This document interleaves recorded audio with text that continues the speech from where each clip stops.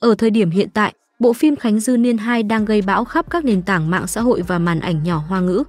Sức nóng của phim không chỉ giúp các diễn viên đã nổi tiếng từ lâu như Trương Nhược Quân, Trần Đạo Minh, Lý Thấm, Tống Giật, Quách Kỳ Lân tăng thêm danh tiếng mà còn tạo đòn bẩy cho dàn diễn viên phụ tỏa sáng. Những cái tên vừa lạ vừa quen như Lưu Đoan Đoan, Ngô Hạnh Kiện, Mao Hiểu Đồng, Lý Tiểu Nhiễm, Đồng Mộng Thực, Phùng Bình cũng nhận được sự quan tâm lớn của khán giả và có khả năng hút fan không kém gì những diễn viên chính. Hãy cùng Cbiz Phim tìm hiểu sơ nét về profile của những diễn viên này nhé. Lưu Đoan Đoan vai nhị hoàng tử Lý Thừa Trạch Trước khi tham gia Khánh Dư Niên, Lưu Đoan Đoan không phải là cái tên quá quen thuộc với khán giả. Nam diễn viên thường đóng các vai phụ mờ nhạt trong những bộ phim có kinh phí thấp. Chỉ đến khi Khánh Dư Niên lên sóng anh mới được chú ý nhiều hơn. Trong Khánh Dư Niên, Lưu Đoan Đoan đóng vai nhị hoàng tử, anh thuộc phe phản diện, luôn chống đối với nam chính Phạm Nhàn. Tuy vậy, vai diễn này lại khiến khán giả cảm thương nhiều hơn là ghét. Cuộc đời của nhị hoàng tử Khánh Quốc là một chuỗi bi kịch, anh liên tiếp bị người thân lợi dụng.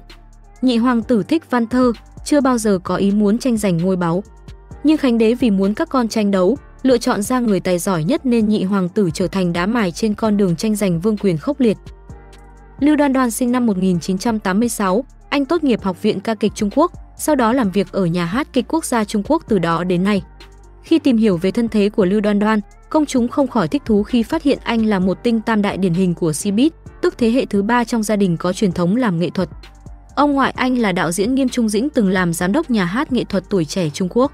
Bà ngoại anh là tác giả Bạch Phong Khê ở nhà hát thanh niên Trung Quốc, còn mẹ anh là diễn viên kỳ cựu Nghiêm Phàm Phàm. Lớn lên trong một gia đình giàu truyền thống như thế, nên không khó hiểu khi từ nhỏ Lưu Đoan Đoan đã thể hiện niềm đam mê nghệ thuật sâu sắc của mình. Ngoài diễn xuất trong các phim truyền hình, thì công việc chính của Lưu Đoan Đoan là tham gia các vở kịch nói ở nhà hát kịch Trung ương Trung Quốc. Cũng vì là diễn viên kịch nói nên cả diễn xuất, đài từ và ngôn ngữ hình thể của Lưu Đoan Đoan mỗi lần xuất hiện trong các bộ phim đều vô cùng chuẩn chỉnh. Không có gì để có thể vạch lá tìm sâu mà chê trách. Ngoài hai phần của Khánh Dư Niên, Lưu Đoan Đoan còn từng tham gia diễn xuất trong các tác phẩm như Tú Xuân Đao 2, Chúng ta đều ổn, Tuyết Trung Hãn Đao Hành.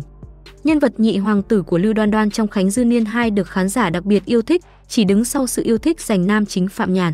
Điều này có được không chỉ nhờ thiết lập nhân vật của mình, mà còn nhờ vào khả năng diễn xuất tài tình của nam diễn viên. Tạo hình của nhị hoàng tử với tóc mái trông như một con alpaca rất hài hước, thêm cả phân cảnh trợn mắt. Nhún vai hay giả vờ giận dỗi của anh chàng đều rất gây ấn tượng với người xem, có người còn nói đã tua đi tua lại cảnh này nhiều lần. Các khán giả đã xem tiểu thuyết gốc cho biết rất nhiều hành động và sở thích của nhị hoàng tử trong phim rất giống với hình tượng nguyên tác. Lưu Đoan Đoan đã thể hiện được rõ nét sống động một nhị hoàng tử lươn lẹo mà thú vị. Trong phim, rất nhiều lần nhị hoàng tử đã gặp gỡ và trò chuyện cùng Phạm Nhàn, lần nào cũng khiến khán giả cảm thấy rất mới mẻ, y chỉ muốn thu hút Phạm Nhàn chứ chưa từng ép buộc. Một nhị hoàng tử thế này khiến khán giả cảm thấy vừa ngờ nghịch vừa đáng yêu. Ở trong Khánh Dư Niên, mặc dù nhị hoàng tử Lý Thừa Trạch vẫn chưa rõ sẽ thắng hay thua trong các cuộc tranh đấu, nhưng ngoài màn ảnh, có thể nói Lưu Đoan Đoan đã thắng cuộc tuyệt đối bằng thực lực của mình. Khán giả nhận xét, Lưu Đoan Đoan đã diễn ra được hình ảnh một nhị hoàng tử thông minh, nhạy bén nhưng cũng rất nổi loạn và dễ tổn thương. Nhân vật này trở thành điểm sáng của phim, hút khán giả không kém giàn chính.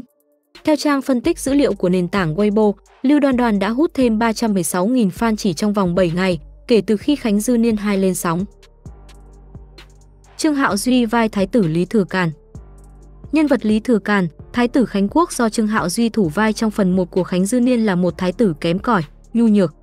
Tất cả những thành tựu mà anh có được đều do một tay vị trưởng công chúa Lý Vân Duệ giúp đỡ. Sau này khi công chúa thất thế, vị trí của Lý Thừa Càn cũng bị ảnh hưởng rất nhiều. Tuy nhiên khi đến phần 2 của Khánh Dư Niên, khán giả đã có fan bất ngờ khi thái tử bộc lộ bản chất thật sự của mình. Đằng sau lớp mặt nạ hoa hậu hòa bình mà hắn vẫn đeo trên người mỗi ngày khi gặp mặt bá quan văn võ, Lý Thừa Trạch chính là một kẻ thâm hiểm. Tàn nhẫn và điên cuồng không kém bất cứ nhân vật phản diện nào trong Khánh Dư Niên, để đạt được mục đích, hắn không từ một thủ đoạn nào. Lợi dụng và tính kế với tất cả mọi người, thậm chí còn không ngần ngại giết sạch cả thôn trang để cho mưu kế của mình thêm hoàn hảo. Đảm nhận vai Lý Thừa Càn là Trương Hạo Duy, anh sinh năm 1990 và từng theo học tại Học viện Hí kịch Trung ương của Trung Quốc. Khi còn chưa chập chững bước chân vào làng giải trí Cbiz, Trương Hạo Duy đã từng nhận được lời mời của Quỹ Tống Khánh Linh để tham gia một cuộc thi hát dành cho thanh niên được tổ chức tại Ukraine vào năm 2008. Anh cũng đã xuất sắc giành hạng nhất của cuộc thi này, đánh bại 25 đại diện của quốc gia khác.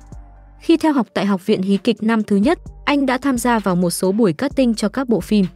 Khi tham gia vào buổi chọn nhân vật chính cho bộ phim truyền hình do biên kịch Bành Tam Nguyên chấp bút, anh đã được các nhà sản xuất phim chú ý đến và trong đó có cả công ty Hoa Nghị huynh đệ. Năm 2013, Trương Hạo Duy chính thức ra mắt công chúng trong bộ phim Quy tắc thanh xuân. Sau đó, nam diễn viên góp mặt trong nhiều dự án phim khác như Hai người nhà ở Ôn Châu, Hãy nhắm mắt khi anh đến, Dùng một đời để yêu em, Khánh Dư Niên, Tái sinh, Xin chào kiểm sát viên, Thả thí thiên hạ. Lý Tiểu Nhiễm vai trưởng công chúa Nhân vật Lý Vân Duệ do Lý Tiểu Nhiễm thủ vai là trưởng công chúa của Khánh Quốc, người quản lý nội khố, nắm trong tay quyền lực chỉ đứng sau Khánh Đế, cô cũng là mẹ ruột của Lâm Uyển Nhi.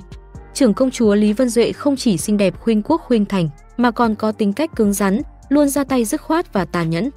Trong phần phim đầu tiên, trưởng công chúa là người gây ra nhiều khó khăn, thậm chí ra lệnh ám sát Phạm Nhàn vì không muốn gả con gái cho nam chính. Nhân vật này hiện lên là một người có tâm tư khó lượng, mưu mô thâm hiểm. Trở lại với phần 2, trưởng công chúa Lý Vân Duệ không chỉ càng ngày càng xinh đẹp hơn, mà độ điên của Lý Vân Duệ cũng tăng lên gấp bội. Trên mạng xã hội, các khán giả khen ngợi Lý Tiểu Nhiễm đã mang đến một trưởng công chúa vừa đẹp vừa điên quá xuất sắc, dù đã U50 nhưng vẫn mang một vẻ quyến rũ mà nhiều sao nữ hiện nay không có được. Lý Tiểu Nhiễm là một trong những gương mặt quen thuộc đối với thế hệ khán giả trong nhiều năm qua. Sinh năm 1976, Lý Tiểu Nhiễm là mỹ nhân nổi tiếng sở hữu nhan sắc xinh đẹp cùng ngoại hình kiêu sa, sang trọng và có phần gợi cảm của làng giải trí hoa ngữ. Người đẹp gây ấn tượng qua nhiều bộ phim như Như sương như mưa lại như gió, Không kịp nói lời yêu em, Nghịch thủy hàn, Đạt ma sư tổ, Đời này có em. Thành công, xinh đẹp là vậy nhưng ý tai biết rằng cô từng gặp nhiều rắc rối và thị phi liên quan đến vấn đề tình cảm. Tình đầu là kẻ cờ bạc, đến người bạn trai tiếp theo, đại gia Tôn Đông Hải lại là kẻ độc tài, hắn từng đe dọa sẽ tạt axit Lý Tiểu Nhiễm nếu cô đòi chia tay. Đồng thời, tên này cũng là thủ phạm hành hung người tình sau đó của nữ diễn viên. Đến năm 2015, sau bao chân chuyên, Lý Tiểu Nhiễm mới có thể yên bề ra thất cùng người bạn thân từ Gia đình. Đồng Mộng thực vai Ngũ Trúc Mặc dù chỉ là vai phụ của phụ, nhưng Ngũ Trúc thúc thúc trong Khánh Dư Niên lại khiến rất nhiều người yêu thích vì quá ngầu và còn có võ công cao cường. Nhân vật Ngũ Trúc do Đồng Mộng thực thủ vai, vốn là cận vệ của Diệp Khinh Mi, mẹ ruột của nam chính Phạm Nhàn, anh cũng có một thân phận khá bí ẩn. Sau khi Diệp Khinh Mi qua đời, Ngũ Trúc đã đưa Phạm Nhàn đi, không chỉ bảo vệ mà còn dạy cậu võ công. Nói không hoa khi Ngũ Trúc là người mà Phạm Nhàn tin tưởng nhất, anh cũng giúp cậu trên hành trình khám phá những bí ẩn mà Diệp Khinh Mi để lại, đồng thời chống lại hàng loạt âm mưu thủ đoạn đầy nguy hiểm. Đồng Mộng Thực sinh năm 1993 tại tỉnh Giang Tô, anh tốt nghiệp trường Đại học Mỏ Trung Quốc nhưng lại vô tình bén duyên với nghiệp diễn. Năm 2014, Đồng Mộng Thực lần đầu xuất hiện trước khán giả qua chương trình truyền hình thực tế của Đài Vân Nam. Nhờ ngoại hình sáng giá cùng khả năng giao tiếp tự nhiên trước ống kính, đã giúp anh chàng nhanh chóng thu hút được nhiều sự chú ý và có cơ hội góp mặt trong một số dự án phim ảnh ăn khách như Chu Tiên Thanh Vân Chí, Đừng kiêu ngạo như thế, Diễm Cốt, Thần Điêu Đại Hiệp phiên bản mới, Huyền Môn Đại Sư, Hạo Lan Truyện, Khánh Dư Niên 1 và 2. Mao Hiểu Đồng vai công chúa Bắc Tề Trong Khánh Dư Niên 2, Mao Hiểu Đồng là một trong những ngôi sao nữ hiếm hoi được khen ngợi.